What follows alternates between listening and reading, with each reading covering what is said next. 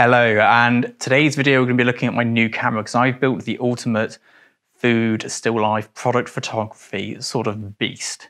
And I want to talk to you about it. I want to talk to you about what I've bought, why I've bought it, what it does that my old camera didn't do, and all of that sort of thing. Now, although this is the ultimate camera for me, this is probably not going to be the ultimate camera for you. It is also not the best camera. There is a better version of this, um, which we'll get to at the end, but my pockets aren't running that deep today. Now, fundamentally, this camera is still my 5 DSR, which as far as I'm concerned is the best studio camera. I've looked at other ones, I've tried other ones, but this is still my preferred body in terms of color accuracy, color science, and resolution. This is what I like to use. It's also the usability, the functionality. This just does everything I need the best without going into medium format backs. But this has now become a digital back as such. The only things it controls is the shutter speed, which is always 125th in my studio, and my ISO, which is always 100th. That's all it does. Everything else within this camera now is redundant. None of the other features do anything. And that is because I have purchased a Cambo, and that is this chunk here. So, first of all, let's look at the bellows. And the bellows would allow us to focus and keep the light all trapped inside. Um, the magnetic on this system here, so here's my old Canon, and here's my lens. Here is all of the movement, and this bit here brings the two together. Now I'm going to do an entire video on how to focus these cameras and all the rest of it.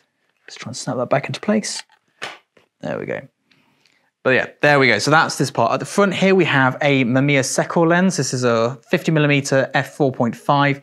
Even though it's a medium format lens, it's still a 50mm because it's all relative to the sensor size. The image circle that this lens produces is huge. It's for a 6x7 camera. So it'd be like putting a full frame camera on an iPhone. We are only going to be using the very center of this, which is also the very best of it for what I do. Now, if I wanted to shoot those ooey gooey cookbook style photographs, I would want that fall off of focus and that fall off of light and that natural vignetting. That's a pleasing thing for that sort of work. But for the vibrant sort of style of work and the sort of graphic and pop art work that I do, that is not what I want. So I want that corner to corner sharpness, which is why up until now I've shot with the Zeiss Milvus lenses. But they had a drawback for me, and the drawback was this. I couldn't get enough in focus unless I was shooting top down or focus stacking.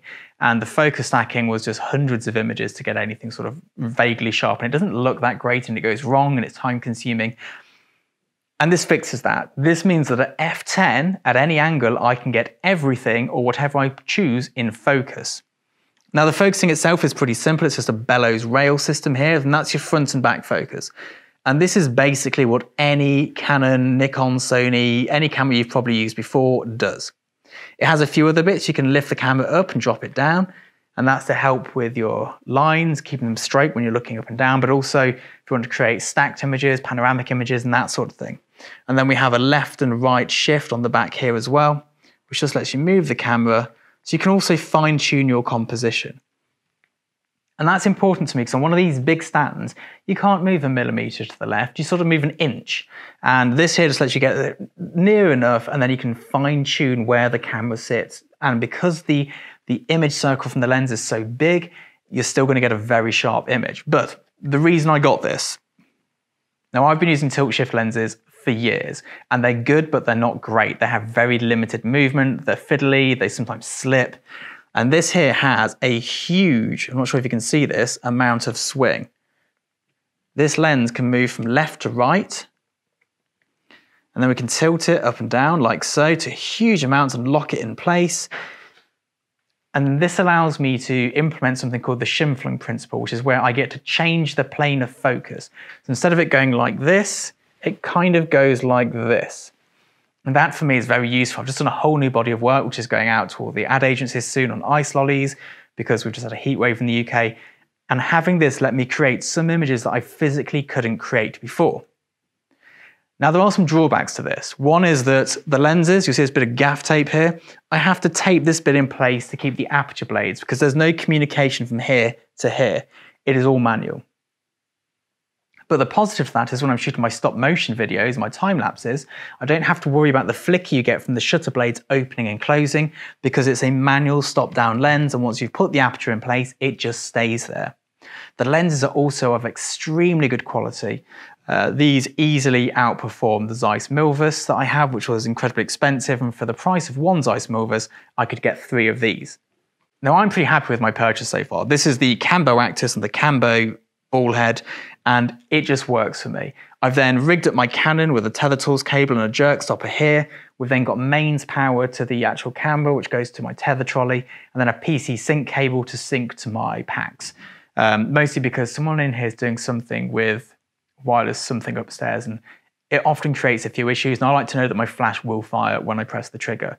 I've also got a remote trigger so that when this is out of the way, I can just press this button back here on my stand or I can fire it directly from Capture One or from the Capture One app.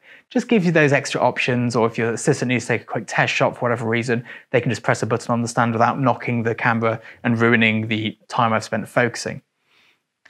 Now, although there's going to be some images popping up throughout this video that I've shot with this, I will do a video about how to focus it and what it can do and how the Scheimpflug principle works because there's not a great deal of interesting stuff out there on it. Um, there are some good videos if you're into techie bits, but I want to sort of show you the creative side of it and what it can do. Now, this may be the right camera for you as well, and they are reasonably affordable. I think the bellow system's about £1,500, so you need your lenses and all the rest of it, but it's not stupid money. If I had enough money, or more to the point, if I felt secure enough in the economy at the moment, spend enough money to buy the best camera, the absolute best, it would be a phase one back, the 150 megapixel on a Sinar body with a Sinar digital lens. But that is going to cost me an obscene amount of money. I could buy a house for the same money. Um, so for the time being, this this is my compromise until I know for sure that this is the direction I want to go in, and that this does allow me to create the work that I want to create. At the end of the day, this is just a tool. It doesn't do anything special. I will be selling all my Canon lenses apart from the 35mm that I use for the YouTube videos, um, which is quite a big commitment for me because I've shot with Canon for 15 years and those sorts, not even the brand Canon. the, the brand is not the commitment to me. The commitment is the, the SLR system. Um, and moving away from that to a more technical camera is a big change and it sort of closes doors for me, but that shouldn't matter because my work is so niche. Anyway, what pays the bills is a very small subsect of photography, as it is with any professional photographer who works at a certain level. Anyway, so this is my new camera. I need a name for it, so do put name suggestions in the comments below because I feel that this is more of a beautiful camera than just the Canon DSLR system or SLR system, whatever you want to call it it has a little bit more to it. The lenses have a bit more, the way they draw images is a bit more beautiful. It just feels nice using all of these mechanical dials and switches and, you know, you can rotate the camera from the back.